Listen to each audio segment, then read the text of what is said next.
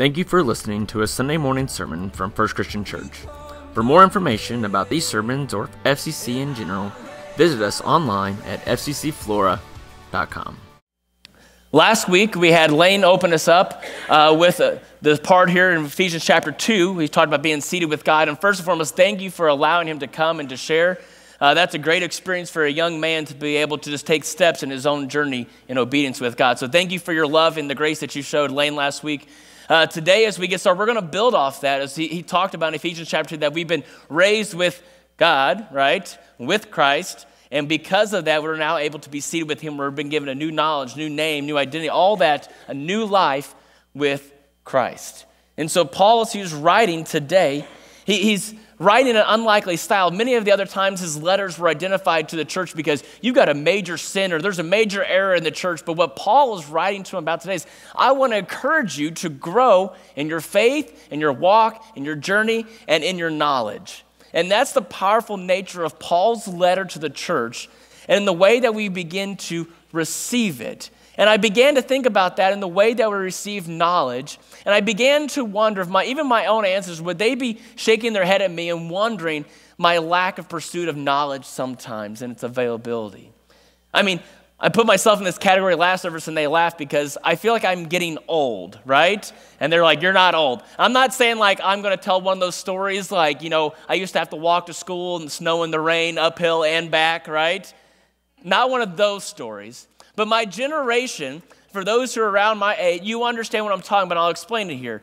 We live between two drastically different generations. If, if you're in teaching you to understand what I'm talking about, because think about this way I still remember what it was like to have to write a paper and go to a library, to request a book from another library and have to wait the two weeks for the book to come in so I could rush through that book to write the paper, right?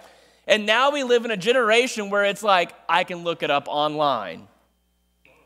I am old, I know. I'm feeling it, all right?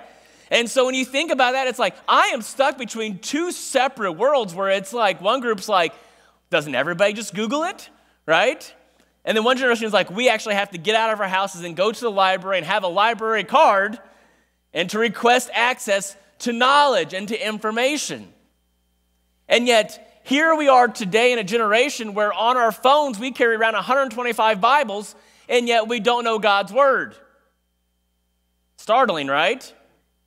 It's a shock to our systems. And so, like, I began to think about that. I'm thinking, my ancestors who, who sought out knowledge for a better life, they're looking at me like, you have access to all this information, and you don't know how to do stuff.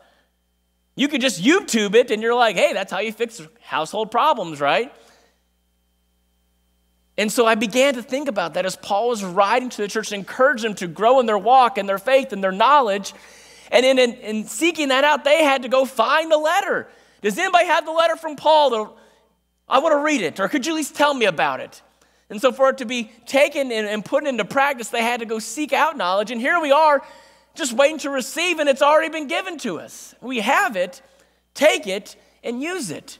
And so, as we see, as Lane opened up last week, if we've been received Christ and with Him, He's raised us up, that God sent His Son to do for us what He did for Him. He wants to raise us up out of death into new life. And because of that, now we've been seated with Him. But because of that, now He says, live it out, walk it. Don't just take what you hear or what you say, but make it your walk. Make it your life and your story about this. And so Paul was writing to inspire those readers to, to, to, keep going and don't stop, but keep growing in knowledge and faith in your walk and your journey. And so Paul was hoping that when people read his words, would they understand the depth because you have to remember, Paul has experienced a lot of things in his world at this time. I mean, his own transformation is turning from darkness to light. And then here he says, I've, I've been through all these things. I've seen churches plant. I've seen the work of God's hand right here. He's laying it out for him that I could just keep going and un- unveiling more depths of God's love for you. And so as he's pouring it out for him, he says, I want you to see it, to know it, but to use it, to allow it to be your walk. And so for Paul, the symbolism of many of his letters revolve around three main themes faith, hope, and love. Today we see that, that letter of love to the church. I just want to love on you guys, but I also want you to be the love to this world as well. That there's power when you take what God has given you and using it to continue to advance and to grow the kingdom. And so we see as Paul was writing in Ephesians here, as you'd like to open to chapter 4, that's where we'll be today. But he used these first three chapters here to really build upon the depth of what God was doing, to really what God has done for us. But now he brings in this fourth chapter, the message we have for today is how we should use that to live and how we make that our way. So we see in Ephesians chapter 4, starting in verse 1, we see, as a prisoner for the Lord, then I urge you to live a life worthy of the calling you have received. If you're following along right there, a life worthy, that means your walk. So go ahead, you can mark that up right there. So sit, walk, stand right there. There's your, your walk. That you live a life that's worthy of that. Verse 2 says, Be completely humble and gentle, be patient, bearing with one another in love. Make every effort to keep the unity of the Spirit through the bond of peace. There is one body, one spirit, just as you were called to one hope when you were called. One Lord, one faith, one baptism, one God and Father of all, who is over all and through all and in all. But to each one of us, grace has been given as Christ pointed it. Now, just in verse 1 here, we see the power and the magnitude of this statement here.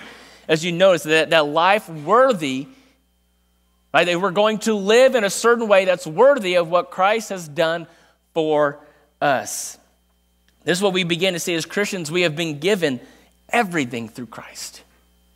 Through also, if we were broken, we had nothing. He says, but through Christ, you've been given a new life, a new name, a new hope, a new future. And so, because of that, it changes. And what we begin to see is that when we hear God's word, it requires response. And that's what Paul's saying. Because of this, you understand the depths and the magnitude of what God has done for you. Because of that, all you want to do is respond in a way that you're living this out. And what he begins to challenge is he says, I want you to have an equal exchange for what's done. But let's talk about that just for a minute here. For many of you guys know that I love Monopoly.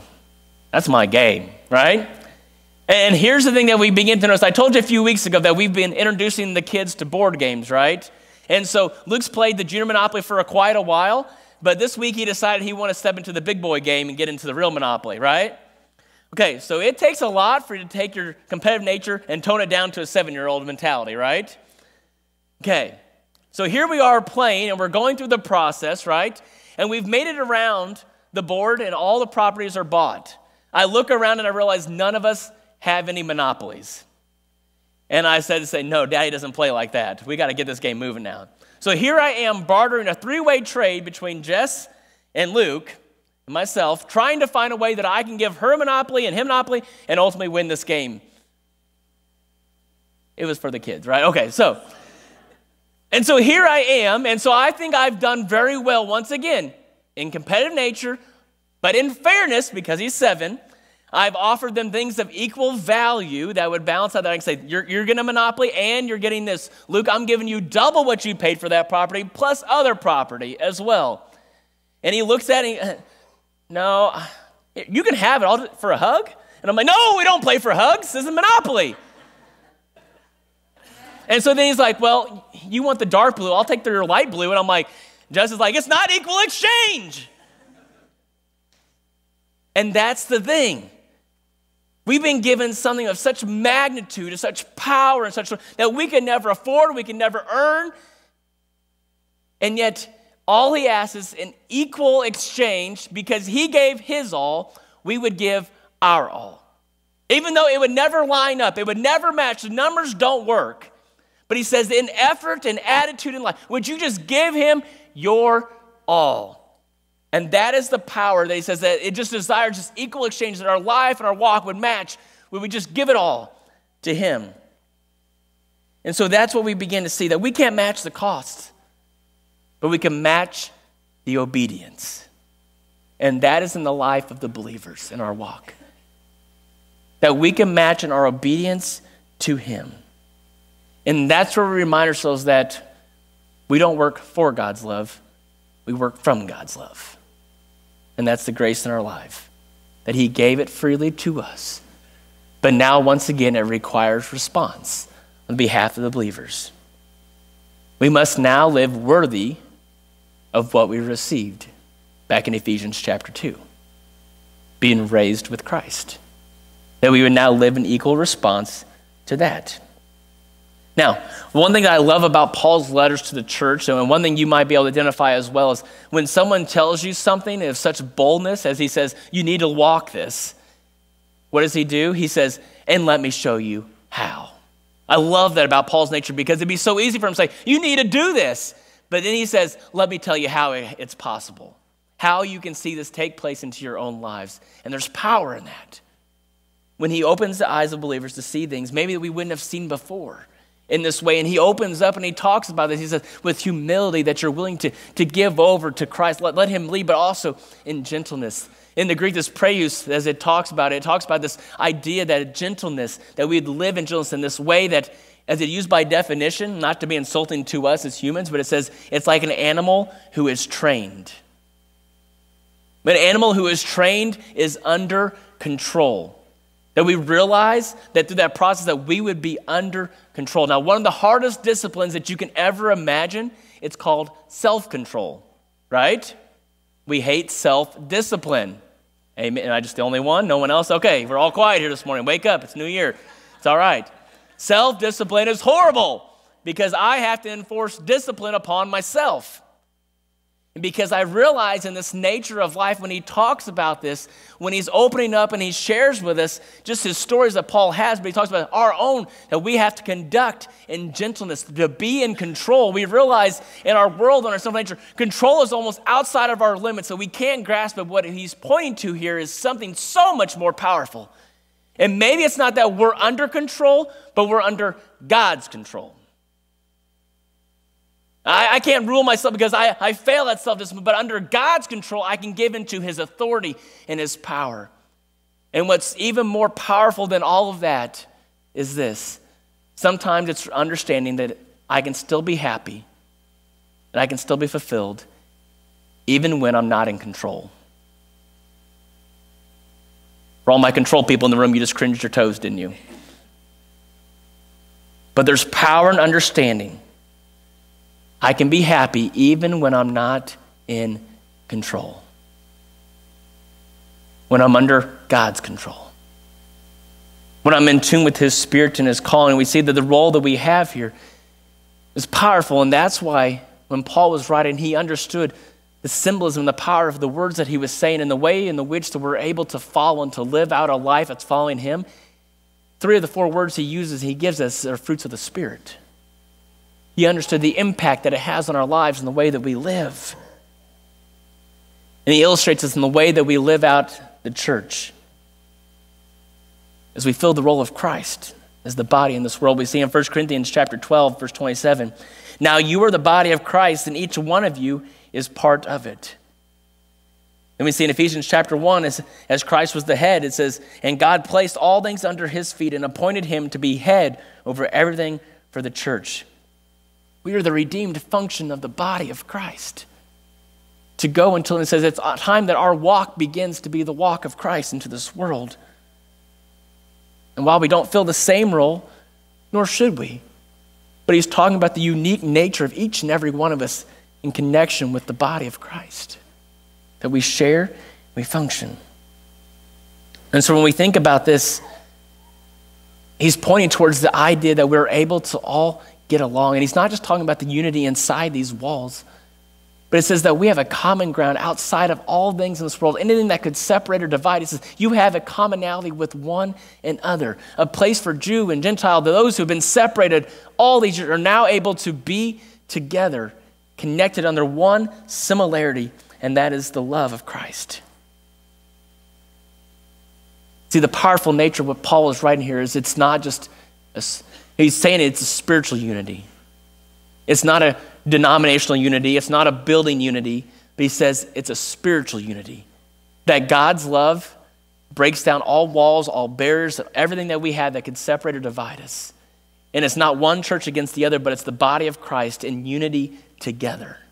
And that's why he says with Jew and Gentile, because we, as the entire embodiment of Christ, have a commonality and a factor of Jesus' love in our lives.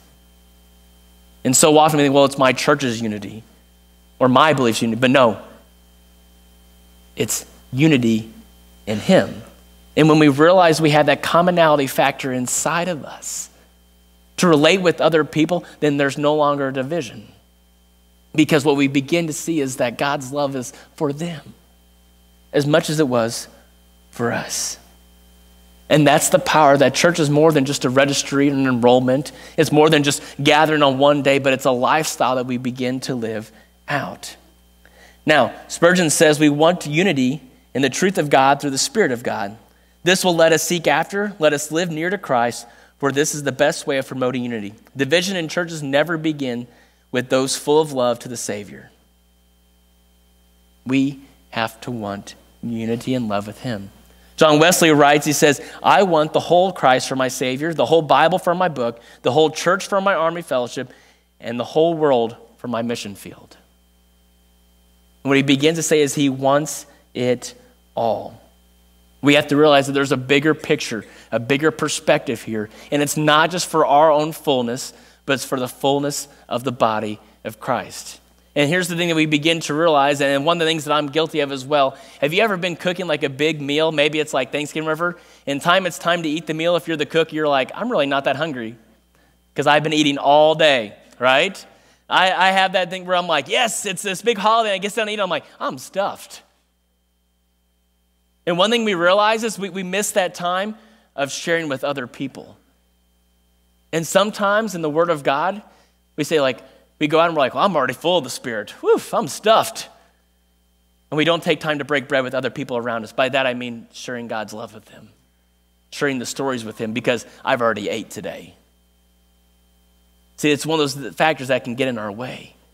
And so when we begin to think about in the vision of God and we think about what He can do in fullness, sometimes we think, well, I'm already full, when He says, you've been filled so you can pour out.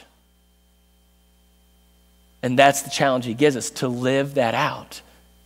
And so when he talks about the unity of the body, he's not just talking about the church, but he's talking about in unity that we have the ability to love those around us as we serve. We see in Ephesians uh, chapter 4, verse 4 through 6 says, There is one body, one spirit, just as you were called to the one hope when you were called. One Lord, one faith, one baptism, one God, and one Father of all, who's over all and through all and in all.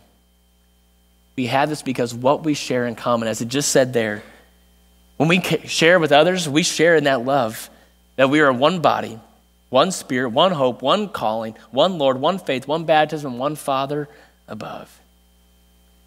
That's greater than any potential difference we could have with one another.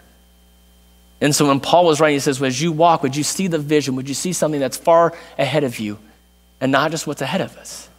But let's see what's in the distant future. To understand the planning in your walk, to understand the resources, what it's going to take to get there, when you think about vision, it's an understanding, it's a study of what is around and what's available to us to keep taking steps.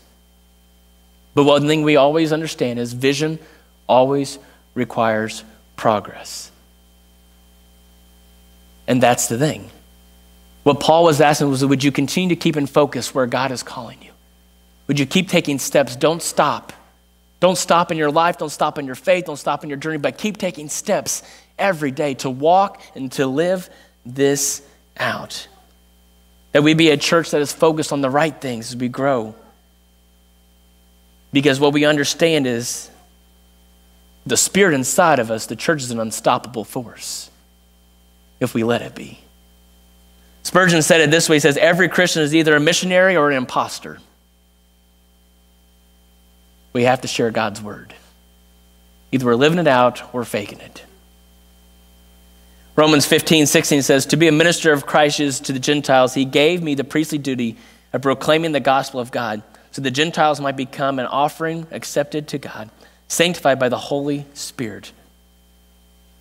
We understand what it means for us. We understand what it means for others that we've been here to distribute, to give it out focus.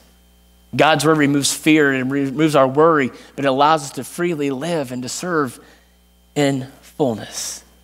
And his design for us would be we'd be this unstoppable force.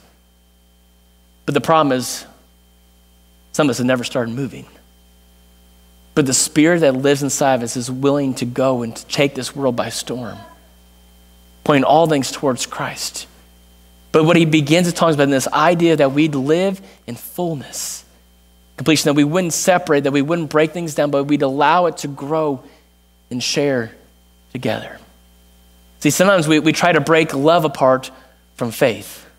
And we, we try to say, well, I've been given love, but you've been given faith, and you no, but we've been given all this through Jesus together. And we don't get to pick and choose, but he says, I've given you this, my all. See, if you've ever been around students playing a game, when the integrity is lost, the game breaks down and it's fun for no one. Right? Have you ever tried to play the game of tag and there's always that ran, one random kid, not pointing anyone kids out, but that one random kid who says, I want to be it, tag me, tag me. And then the next thing you know, the game's over.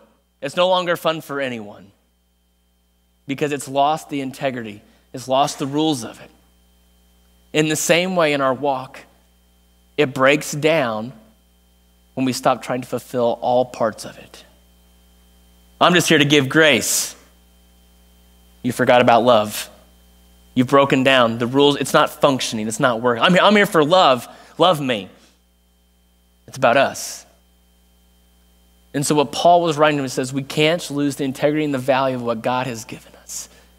That faith is not without love, and love is not without faith, that he bore those together so that we'd have faith to see beyond what we can see right here in this world. We see beyond what we have in our circumstances and our lives. But he says, the love that you've given is to break down the walls and the barriers that separate and divide us as human beings, and unite us as children of God.